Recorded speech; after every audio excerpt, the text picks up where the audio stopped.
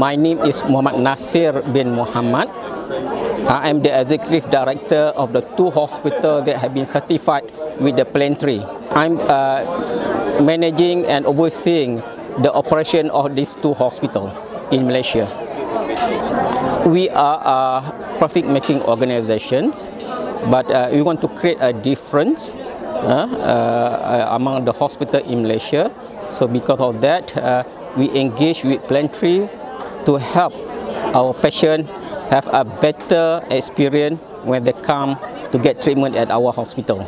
The good experience means they are begin engaged uh, with the throughout uh, the uh, their hospitalization and they also uh, empowered to make a, a decision for the treatment and at the same time we also engage the whole family uh, during their uh, treatment at our hospital.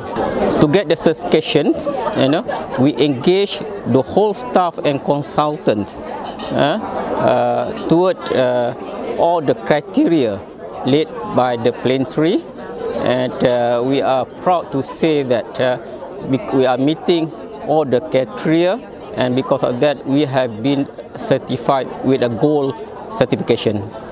Very happy and honored because we are the first hospital in the Asia Pacific to be certified by the Plantry. My job is uh, to create value for my organizations and to give hope to all the staff, uh, family and their family members, as well as the more important to the patient and their families.